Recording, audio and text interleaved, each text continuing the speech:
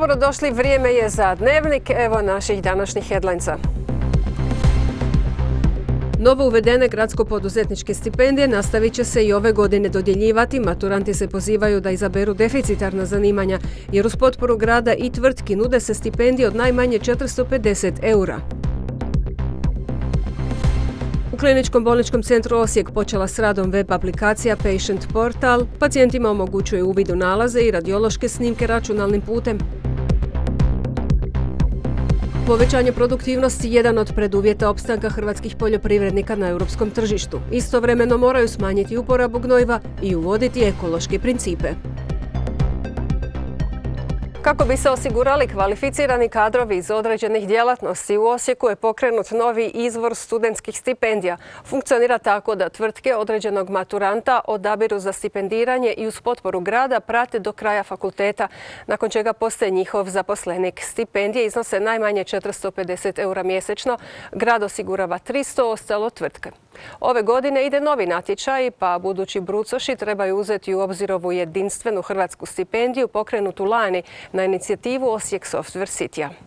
U Osijeku se svakodnevno pojavljuju nova radna mjesta. Najviše poslova nudi se u sektoru računalne industrije, ali i u medicinskim i drugim zvanjima. Kako bi razvoj tih djelatnosti pratio dostatan broj radne snage, lani je na inicijativu Osijek Software Citya, te uz izdašnu potporu grada Osijeka pokrenut projekt gradsko-poduzetničkih stipendija. Podsjetit ću, ta stipendija iznosi e, za studenta najmanje 450 eura mjesečno od čega grad Osijek osigurava 300 eura, a e, tvrtka koja stipendira najmanje 150 eura. Može i više, ali to je najmanji iznos, dakle što kažem ukupno najmanje 450 eura za studente, a e, stipendiraju se studenti od prve godine studija, i to za ona deficitarna zanimanja, dakle za pet studija, odnosno pet fakulteta na području grada Osijeka. Kroz taj projekt studenti prve godine, odnosno tvrtke koje određenog studenta žele zaposliti po završetku fakulteta, s gradskom upravom potpisuju sporazum o stipendiranju. Putem njega student do kraja studija ima pristojnu potporu, ali prije svega mora naći tvrtku i pokazati ambicioznost. Studente koji koji će biti stipendirani biraju same tvrtke. Dakle, mi kao grad Osijek se u taj dio e, izbora ne miješamo, već zapravo tvrtka odlučuje koga će stipendirati, a to znači da ako tvrtka pet godina, dakle u trajanju od pet godina odluči nekoga stipendirati, znači da je taj kadar treba. Dakle, i da će taj kadar e, nakon završetka studija, što je osigurano i ugovorom, ostati raditi za tu tvrtku na području grada Osijeka. Ono što nekako smatram da je najvažnije, dakle od strane maturanata, to je budućih studenata, pokazati jednu vrstu ambicioznosti. Dakle, naravno, važni su i rezultati tijekom obrazovanja, ali e, najvažnije ako te neko područje zanima. Ako pokažeš interes i ambicioznost, vjerujem da to tvrtke koje biraju studente koje će stipendirati nekako najviše i cijene. Ove godine ide novi ciklus gradsko-poduzetničkih stipendija, zato se maturanti pozivaju da uzmu u obzir ovu pogodnost pri izboru fakulteta. Treba biti informiran, pratiti evo i naš e, i web portal najzanaj.osijek.hr koji smo otvorili baš za te stipendije za tu namjenu, tako da evo budu uključeni prate. Tamo ima i popis tvrtke koje sudjeluju već u programu, koje su htjele se, ajmo reći, registrirati i e, javno objaviti svoje podatke na portalu. Međutim, e, ponavljam, nisu samo te tvrtke uključene, odnosno može biti bilo koja druga tvrtka s područja grada Osijeka ovaj, također uključena u ovaj program. Inače, za razliku od drugih stipendija u kojima je uvjet prebivalište na području grada, u ovom slučaju može se prijaviti i bilo koji student iz Hrvatske. U ovom trenutku ove stipendije prima 16 studenata koji su lani postali prvi korisnici jedinstvenih stipendija. U Kliničkom bolničkom centru Osijek počela je s radom web aplikacija Patient Portal. Elektronički sustav pacijentima omogućuje uvid u nalaze u digitalnom obliku putem web stranice. Novost je što pacijenti ovim sustavom mogu primati i rengenske slike snimljene u dijagnostičkim klinikama i zavodima. Za pacijenta riječ je o modelu koji je jednostavan za uporabu, a za sustav pogodnost koja smanjuje administrativni pritisak. Vrijeme pandemije, osim svega negativnog i lošeg što je donijelo sa sobom, pokrenulo je neke pozitivne pomake. Jedan od njih svakako je digitalizacija i sve veće korištenje interneta. Tako je primjerice i u zdravstvenom sustavu u kojem kroz sustav e-građanin možete pristupiti i svom zdravstvenom kartonu. U Osječkom KBC-u otišli su i korak dalje. U okviru tog e, sada portala je moguće pristupiti nekim novim podacima, zapravo dobivene su neke nove funkcionalnosti poput ovog patient portala, jer tvrtka koja je formirala tu web aplikaciju osigurala i pristup pacijentima E, i u jedan dio do sada nepristupačnih, odnosno nije bio postao servis koji bi mogao isporučiti te podatke. U ovu priču za sad su uključeni Zadarska bolnica i Osječki KBC, a novost je vezana uz radiološke nalaze. Ujedno se može vidjeti i e, snimak radiološki koji zapravo osigurava jednu dodatnu funkcionalnost kako za svakoga čovjeka, jednako tako kroz jedan također novi sustav koji već neko vrijeme sad postoje, to su e-kartoni i svim drugim zdravstvenim radnicima koji su uključeni u liječenje pacijenata također se može dobiti uvid upravo u ovu strukturu podataka. Ipak razina sigurnosti vrlo je visoka, možete vidjeti samo svoje podatke, a istovremeno možete i među liječnicima ograničiti tko može vidjeti vaše podatke.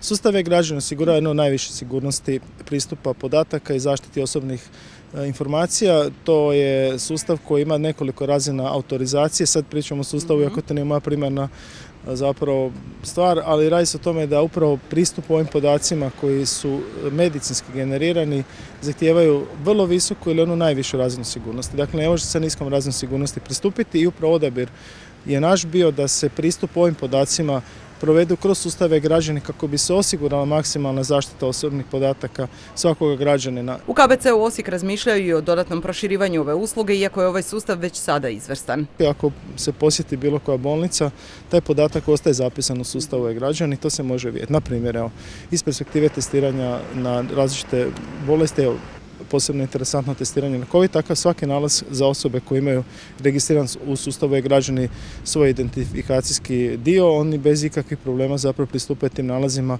niti ne moraju čekati, niti gledati svoga liječnika i niz drugih nalaza. De facto svaki vaš posjet odnosno svaki naš posjed, svi smo mi osiguranici, uz, u bilo kojoj zdravstvenoj instituciji biti će zapisan i u ovome sustavu. Cilj implementacije ovog cijelog projekta je poboljšanje kvalitete zdravstvene skrbi kroz smanjenje pritiska na administrativno osoblje i odjele, smanjenje gužvi na šalterima, gubitak radnih sati i pacijenata i osoblje bolnice, te uštedu značajnih sredstava na dosadašnji oblik ispisa nalaza i pohranu slika na digitalne medije kao što su CD, po koje je pacijent morao osobno dolaziti u KBC Osijek. Povećanje produktivnosti jedan je od preduvjeta opstanka hrvatskih poljoprivrednika na europskom tržištu, ali istovremeno moraju smanjiti upotrebu mineralnih gnojiva i okrenuti se ekološkim principima proizvodnje. Uz to zbog sve većeg utjecaja klimatskih promjena nužna je prilagodba agroekosustava i agrotehničkih mjera. Zadnjih godina sve su češći primjeri poljoprivredne proizvodnje koja minimalizira uporabu tla, a time i štetan utjecaj na njega. Tlo je jedan od najvrijednijih prirodnih resursa s ciljem veće zaštite tla dio poljoprivrednika okrenuo se ekološkoj poljoprivredi. Stjepan Zoričak 200 hektara površina prebacio je na ekološki, puno održiviji način gospodarenja poljoprivrednim zemljištem. Neizvjesne klimatske prilike uvjetovale su ga i na uvođenje sustava navodnjavanja. Mi smo vidjeli smo da nemamo u okviru, u, u kontekstu cijele e, priče o e, ekonomičnosti naše proizvodnje i stvaranju profita, najvažnije je bilo kako smanjiti inpute i e, na našem hektaru proizvodnje i kako povećati prihod po hektaru proizvodnje. Povećanje produktivnosti jedan je od preduvjeta opstanka hrvatskih poljoprivrednika i na iznimno velikom europskom tržištu. Postali smo dio zajedničke poljoprivredne politike, zajedničkog tržišta poljoprivrednih proizvoda i mi smo jednostavno, mi moramo biti konkurentni sa svim drugim proizvođačima i španjolskom i nizozemskom i svim drugim velikim e, e, poljoprivrednim proizvođačima Europi koji već godinama primjenjuju nekakve prakse. Povećanje konkurentnosti, uvjereni su slavonski poljoprivrednici, može se osigurati u okviru ekoloških principa proizvodnje. Mislili smo da je najvažnije kako da smanjimo udio korištenja mineralnih gnojiva na poljoprivrednom tlu, da bi ga s tim i poboljšali, sačuvali ga za nekakvu, taj postotak humusa, sačuvali za nekakvu budućnost i kako sa dodavanjem dovoljne količine vode da pokušamo povećati prinose ili bar možda prinose e, poljoprivrednih kultura naše svest na jedan e, standardni e, nivo, jer je vidite već godinama imamo problem sa sušom i godinama su naši prihodi, prinosi poljoprivrednih kultura ispod, ispod razine Europske unije samo zato što više nismo u mogućnosti do, dostatnu količinu vode staviti na raspolaganje biljci koja će onda dati nama nekakav urod. U smanjenje upotrebe mineralnih gnojiva kao dobar put se pokazala i zelena gnojidba kao i unos organske mase iz ostataka poljoprivredne proizvodnje. Unosimo razno razne organske ostatke na razno razne načine. Da li je usijavanjem, da li ostataka više ne, ne prodajemo naše e, ostatke poljoprivrednih proizvoda kao što su slama kukuruzna više ne prodajemo za proizvodnju energije koju su evo, nekakve centrale su koristile. Mislimo da je koristije te poljoprivredne ostatke za orat nego koristiti ih za proizvodnju energije. Posljednjih godina sve su češći primjeri poljoprivredne proizvodnje koja minimalizira upotrebu tla, a time i štetan utjecaj na njega. Zaista velik e, dio poljoprivredne proizvodnje se može proizvesti bez tla, to je dokaz već, evo, postoje zaista jako ovaj, velika lepeza proizvoda gdje se tlo ne mora koristiti, ali ipak su to ipak male količine. Mi smo ipak 99% poljoprivredne proizvodnje se odvija na našem tlu.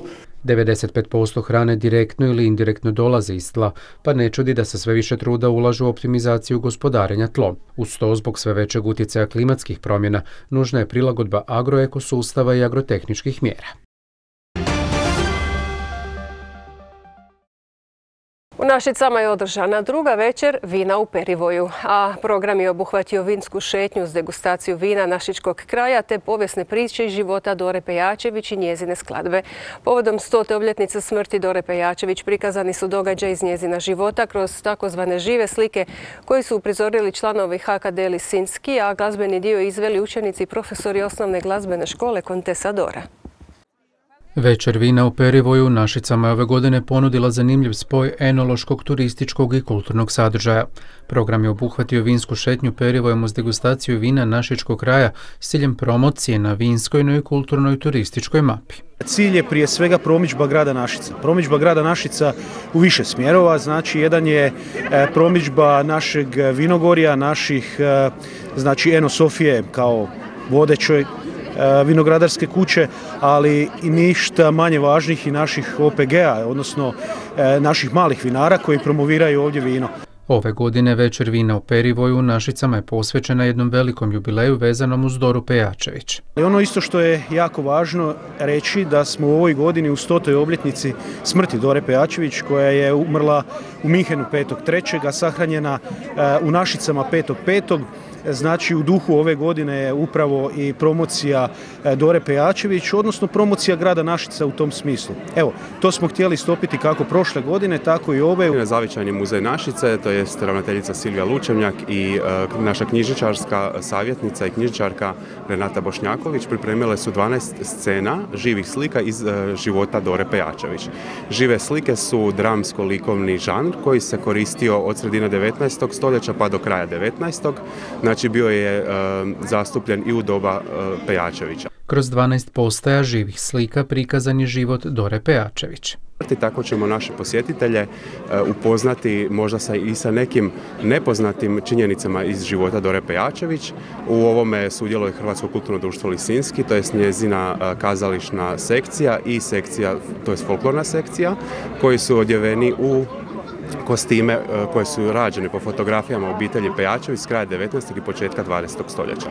Druga večer vina u Perivoju imala je za cilj promičbu grada Našica kroz prezentaciju Našičkog vinogorja, kako kroz uspjehe velikih vinara, tako i malih OPG-a koji svojim jedinstvenim vinima stvaraju prepoznatljivost ovog kraja na vinskoj i kulturnoj turističkoj mapi. Očekujemo da se Našićani i Našinčake upoznaju sa našim vinima, da se podružimo, da se degustiraju i drugi proizvodi koji će biti večeras u ovoj šetnji i nadam se da ovaj, će biti svi zadovoljni na kraju večeri.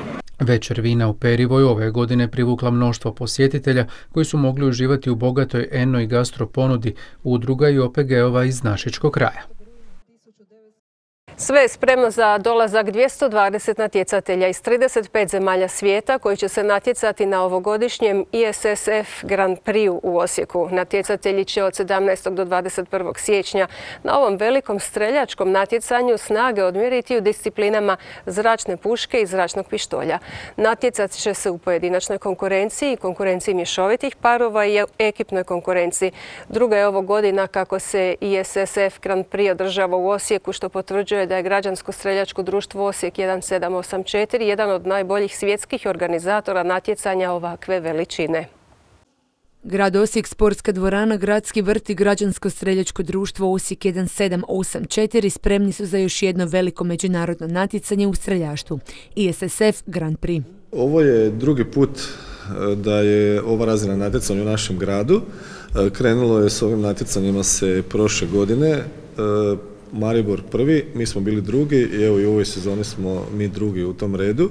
Zamišljeno je ovo natjecanje sa pozicije E, ostvarivanja bodova za godišnju rang ljestvicu. Tako će 220 natjecatelja i 60 službenih osoba iz 35 zemalja svijeta ovaj tjedan provesti u gradu na Dravi i natjecati se u disciplinama zračne puške i zračnog pištolja u pojedinačnoj konkurenciji, konkurenciji mješovitih parova i ekipnoj konkurenciji. Natjecanje počinje utorak e, sutra sa neslužbenim treningom, treninzima, sreda su službeni treninzi, a četvrtak, petak i subota su finala gađanja u pojedinačnoj mikse, mješovitim parovima i ekipnoj konkurenciji. It's my great pleasure and my honor to be back in Osijek again for this Velika mi je čast ponovno boraviti u Osijeku i biti dio ovako važnog natjecanja. Natjecatelji polako pristižu i svi su u dobroj formi. Na nama je da pošteno sudimo i da svima pružimo jednaku priliku. Siguran sam da je organizacija sve dobro odradila kako bi natjecanje proteklo glatko. Građanskom streljačkom društvu Osijek i Hrvatskom streljačkom savezu do sada je povjerena organizacija niza ovakvih velikih događaja, a s tom praksom planira se nastaviti u budućnosti. Ovaj ISSF Grand Prix je od e, posebnog značaja. To se vidi samo po ovoj činjenici da je ovdje više od 200 strelaca iz cijelog svijeta i također posebna je mogućnost ovdje što e, kao što je već rečeno, strelci iz Europe imaju e, mogućnost kroz sistem kvota za europske igre koje će biti održane ove godine u u Vroclavu u Poljskoj imaju tu mogućnost da osvoje kvote. Sva streljačka natjecanja organizirana u Osijeku uvijek su na visokoj razini i uvijek se prođe u najboljem redu. Istaknuto je to danas na preskonferenciji u oči ISSF Grand Prix-a, stoga se istom scenariju nadaju i ovoga tjedna. Nama ovakve priredbe i organizacija puno znače za afirmaciju streljačkog sporta, a mislimo da kroz e, organizaciju ovih velikih natjecanja doprinosimo i afirmaciji grada Osijeka i županije Osječko-Baranjske, pogotovo kako su sada u zadnje vrijeme, zadnje dvije godine, spojili turizam i šport i mi na neki način eto, sudjelujemo i u tome. I ovo natjecanje nam u grad dovodi više od 250 e, ljudi sa pet kontinenata, generirat će se više od 2000 noćenja i zaista osim što će poslati sliku svijetu kao grada i županije kao sportske destinacije, tako će jednako otići slika u svijet kao e, turističke destinacije. Ne bojimo se uopće oko toga da li će biti još velikih natjecanja jer imamo tu gospodina Čelića, ali ostali šest predstavnika klubova iz našega grada koji svake godine vrijedno rade, dovode velika sportska natjecanja u naš grad i na taj način nas, kao što sam već rekao, pozicioniraju na kartu svijeta u streljačkom sportu i to je ono što u biti nam je najbitnije, a onda isto tako slika iz naših dvorana sa naše streljane odlazi diljem svijeta i pokazujemo se u najljepšem mogućem svijetu, svjetlu kao grad sporta što i jesmo.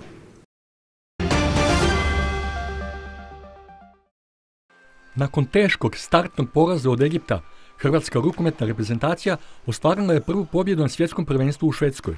U susretu drugog kola skupine G, Hrvatska je pobjedila Sjedinjene američke države 40 naprema 22 i tako praktički osigurala drugi krug natjecanja. Za potvrdu prolaska dovoljan joj je i bod u posljednjem susretu protiv Maroka. Najveća prednost naše reprezentacije bila je plus 19, odnosno 39 naprema 20 u 58. minuti susreta. Ukupno 13 obrana imali su naši vratari i to Slavić 8 u prvom i Kuzmanović 5 u drugom poluvremenu. S osam pogodaka iz 10 pokušaja, prvi strelac bio je Karačić, dok je Šarac imao realizaciju šest pogodaka iz isto toliko šuteva. Čak 10 naših igrača upisalo se u strijelce. Egibat je u skupini G nakon Hrvatske pobjedio i Maroko, te ima maksimalno 4 boda, dok Hrvatska i SAD imaju po dva. U utorak 17. siječnja Hrvatska igra protiv Maroka.